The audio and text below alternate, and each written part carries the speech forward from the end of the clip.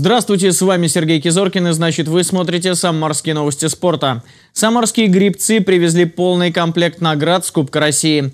Гандбольная «Лада» вышла в финал чемпионата страны. Баскетбольные «Красные крылья» забыли, что такое победа.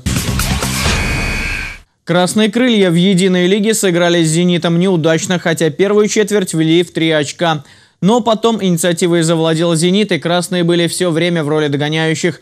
Чтобы вырвать победу, крылья на последних секундах встречи дважды брали тайм-аут. Результат совещаний 84-85 в пользу соперника. После планерки уже «Зенита» счет изменился не в пользу самарской команды 86-84. Очередное поражение «Красных крыльев» и финиш чемпионата страны клуб проведет в Красноярске с местным Енисеем. Лидер лиги ЦСКА полуфинале плей-офф чемпионата России среди команд Суперлиги Тольяттинская «Лада» обыграла Звенигородскую «Звезду». Первый тайм автозаводцы вели в два мяча.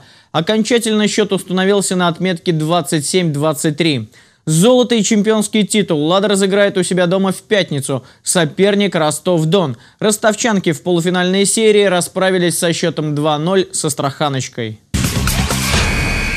В Краснодаре разыграли Кубок России по гребле на байдарках и каноэ. Самарские спортсмены завоевали три медали. Бронзу на счету Михаила Павлова. Он на каноэ двойки с Кириллом Шамшуриным из Москвы финишировал третьим на 1000 метров.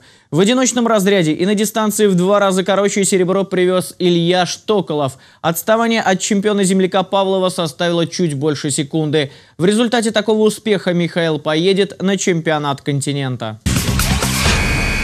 Это были новости спорта от Сергея Кизоркина. Будьте здоровы и занимайтесь физкультурой.